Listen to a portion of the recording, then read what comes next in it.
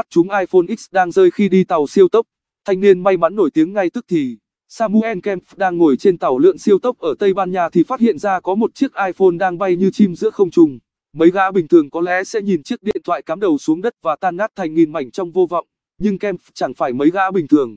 Anh này quyết định phải hành động, và như một nhân vật trong một tác phẩm hội họa phục hưng, vươn tay về phía thiên đường, giải cứu chiếc iPhone khỏi số phận hầm hưu mà có lẽ người dùng điện thoại ở thế kỷ 21 này đều từng một lần phải nhói tim khi chứng kiến.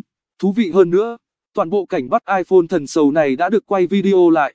Quả thực anh này đã làm được điều đó, giúp người chủ chiếc điện thoại tiết kiệm được hàng trăm đô phí sửa chữa chiếc iPhone X vô tình bị đánh rơi.